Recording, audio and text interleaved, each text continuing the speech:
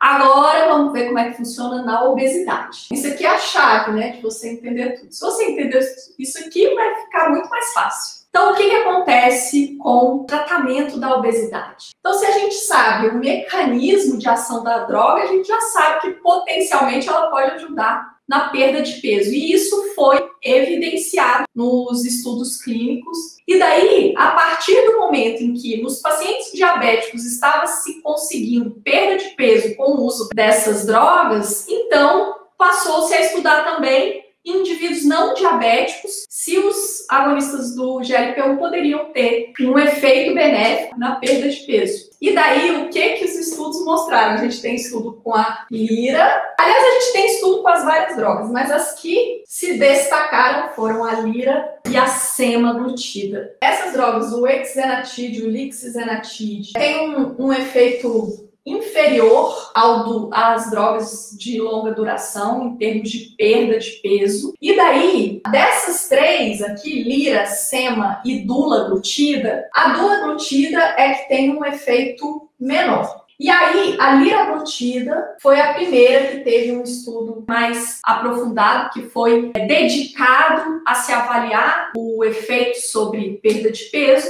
E aí, alguns estudos foram publicados e justificaram, inclusive, a aprovação pelo FDA para uso na obesidade independente da presença de diabetes. E aí, um estudo que é um grande marco né, na definição do papel da liraglutida é o estudo SCALE, que mostrou perda de peso sustentada em torno de 5% até 10% do peso corporal, né, mas associado ao uso de doses de até 3 miligramas por dia. Então, o que, que acontece? Lá no diabetes, a gente usa a dose máxima de 1,8. É, e aí, aqui na obesidade, a gente continua, porque a dose é escalonada assim: é 0,6 1.2, 1.8. Esse é o Victosa. Agora, para tratamento da obesidade, a gente continua aumentando a dose. Por quê? Porque o benefício na perda de peso ele vai aumentando progressivamente até a dose de 3 miligramas, que seria a maior dose com um efeito positivo, né? Acima disso, você não teria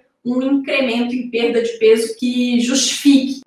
Perda de peso, a liraglutida tem esse seu efeito máximo ah, com o uso de 3 miligramas por dia. E daí existe no mercado a droga chamada Saxenda, né, que é a liraglutida numa caneta que começa com 0,6 e aí vai para 1,2, 1,8, 2,4 e 3.